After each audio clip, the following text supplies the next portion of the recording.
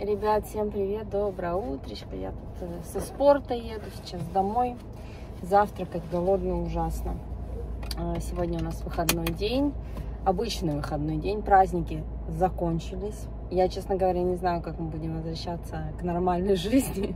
4-5 раз в неделю ходить на работу. Но в моем случае это 4 раза на работу, один день работать из дома. Ребенка 6 раз в неделю отправлять в школу.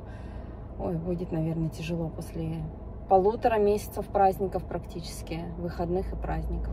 Вот я, честно, даже не знаю, радоваться тому, что праздники закончились или не радоваться. С одной стороны, конечно, кайфово работать два раза в неделю, но с другой стороны, блин, никакого режима. Не знаешь, чем себя занять. Точнее, себя-то я всегда смогу занять. Вот чем занять ребенка, это отдельная история. В любом случае, праздники закончились, надо как-то возвращаться к нормальной жизни, к нормальному режиму. Займет, конечно, время. Думаю, недельки две придется помучиться. Но ничего, справимся. Кстати, уже у нас готовится к новому празднику, к Хануке, которая будет, если я не ошибаюсь, месяца через два. Но уже начали продаваться суфганиот. Это пончики такие, которые на Хануку обычно продаются. Классические израильские пончики, они, ну, снаружи тесто, пончик такой кругленький, а внутри повидло. Очень вкусный. И сверху еще все это посыпано сахарной пудрой. Вкуснотища. Еду за пацанчиком в школу. Сегодня, то есть по пятницам, Ян учится до 11.30. До сих пор нам не организовали никакую ни подвозку, ничего. То есть приходится и ездить за ребенком, забирать из школы, и отвозить ребенка с утра в школу. И, честно говоря, очень сильно подвозки не хватает. Да, скорее бы уже сделали нам что-то. Можно? Может быть. Когда мы вернемся? Надо пообедать, Янчика, потом мороженку. Забрала покрывало из машины, которое уже там, наверное, месяца два лежит. Надо постирать. Сварганила себе салатик такой на завтрак-обед, потому что сейчас как бы 12 часов дня. Поэтому решайте сами, что это завтрак или обед. Э, после спорта я выпила свой протеинчик. Ну, это сейчас салатик. Э, тут у меня овощная смесь, которую я покупаю уже готовую, порезанную.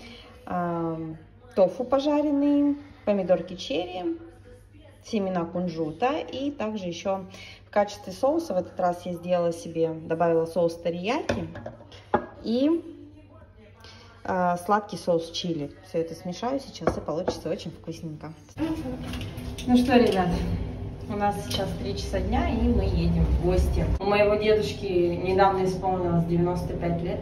Вот, так что мы едем праздновать, едем к моей двоюродной сестре, у нее дома будем праздновать. Едем мы в город Оде-Шарон. Это город находится рядом с Кварсабой, центр. Ехать туда 35 километров. Надеюсь, доедем быстро, надеюсь, пробок не будет. Хотя все может быть. Да, это такое дело не совсем предсказуемое. Все, погнали. Ну что, мы приехали. Я тут так переживала, что тут парковки не будет. А тут, оказывается, рядом с домом огромная вообще общественная парковка. В общем, идем. Супер класс. Супер класс. Это ты мой супер класс, да? Смотрите, тут какие высотные дома. Не мудрено, что здесь сделали общественную парковку рядом. Потому что рядом с домами точно невозможно столько машин припарковать. В общем, да, хороший райончик. Первый раз мы в этом райончике, моя двоюродная сестра, мы к ней в гости приехали. Переехала сюда недавно. Вот. Сейчас посмотрим. Думаю, хороший вид из окна должен быть. Смотрите, какой шикарный вид тут. Вот это вот Кварсава, а это уже Оде Шарон. А внизу все это клубничные поля. Красота.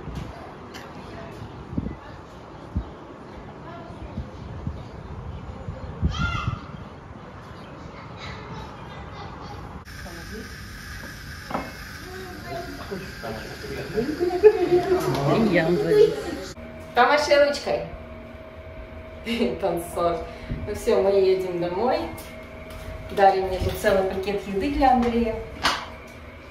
7 часов вечера и уже начинает темнеть. Точнее, уже темно в 7 часов вечера. Эта камера еще высветляет очень сильно. Все, начинает у нас рано темнеть. Зимой вообще будет часа в 4 уже начинать темнеть, к сожалению. Ну что, ребят, приехали мы домой уже часов 9 вечера.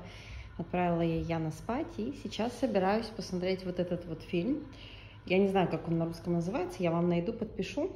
Долго я ждала, пока он выйдет. И вот сегодня он вышел как раз на Netflix. Буду его смотреть. Может быть, Андрей ко мне присоединится. Вот я себе уже тут все подготовила. Диван. Виски тут с ума сходит. В туалет, наверное, хоть сейчас не выйду. Кстати, до сих пор не привезли наш стеллаж. Мы его ждем уже больше недели, мне кажется. И до сих пор вот его нет в наличии. Ждем, ждем. А что делать? Кстати, смотрите, как круто Андрей придумал. Он пылесос поставил под диван. Класс. Теперь у нас пылесос не на видном месте, как был до этого, а под диваном. И, ну, когда надо, его просто включаешь, и он выползает делать свою работу.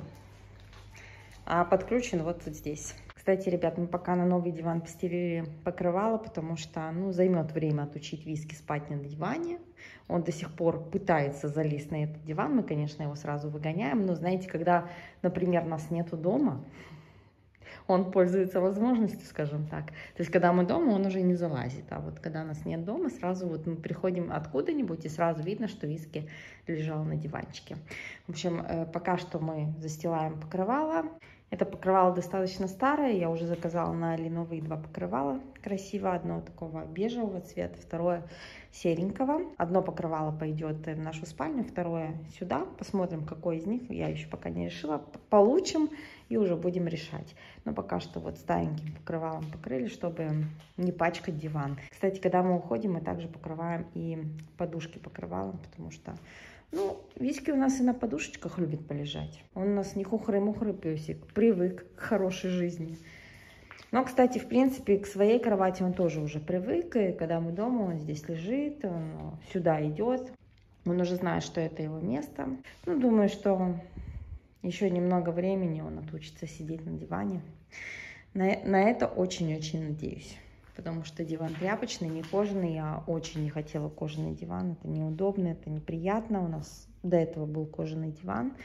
Ну и, честно говоря, не особо мне нравилось на нем сидеть, лежать. Я хотела именно тканевый диван, тканевую обивку. И вот это вот мне очень нравится. Видите, какая она фактурная. Вообще, на самом деле, мы с Андреем в восторге от нашего нового зала. Осталось только стеллаж, только его не хватает. И да, совсем забыла, еще не хватает картины на стене. Картину, наверное, я буду сама рисовать. Надеюсь, по крайней мере, планирую это сделать. Но когда поедем в Нитанию, забирать наш э, стеллаж, потому что его должны привезти именно в Нитанию. Там есть рядышком очень большой художественный магазин, и я хочу туда заехать, купить большой холст. Вот в наших художественных магазинах, которые рядом с нами находятся, там нет такого размера холста, как мне надо. А мне надо, чтобы ширина была не меньше полутора метров. Потому что зал у нас большой, и маленькую картину вешать ну, не очень хочется. Поэтому хочу купить большой холст и сама попробую нарисовать картину. Знаете, что у меня опыт есть. Иногда у меня, скажем так, вдохновение наплывает раз в несколько лет, и я что-нибудь рисую. Я сто лет назад вам показывала вот эту, например, картину я нарисовала, зебру.